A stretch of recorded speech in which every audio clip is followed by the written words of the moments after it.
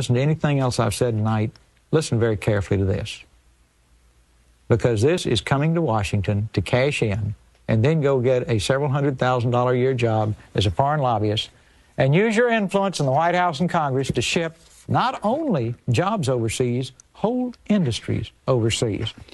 Here we go. Between 1980 and 1985, 76 former federal officials left office to become registered foreign agents.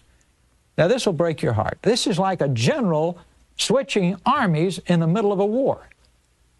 They should come to serve and go home, not cash in. We got 35 year old boys that have trouble holding a minimum wage job. They don't have any skills. All they've done is run around and, you know, service a, a senior official in Washington. They're making two or three hundred thousand dollars a year because they got his ear. Now, even worse, and I hope you will put your foot down and make both parties throw the cards on the table. They've got these people on leaves of absence now working on presidential campaigns, foreign lobbyists on leaves of absence working on presidential campaign. That's like having Russian spies in the middle of a presidential campaign during the Cold War, because we're in a business war now, folks.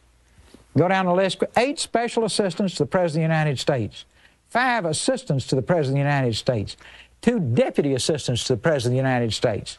One President's counselor, one deputy White House press secretary, one chief of staff to the Vice President of the United States, two U.S. trade representatives, six senators, nine members of the House of Representatives, 12 senior Senate staff members, five senior House staff members, four retired generals, a chairman and a vice chairman, of the U.S. International Trade Commission. And the sickest thing of all, we had a key guy on the Trade Commission leave and go to the other side in the middle of the negotiation. He knew the plans, the strategy, the details.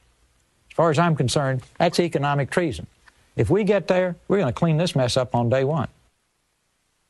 I don't have to tell all of you.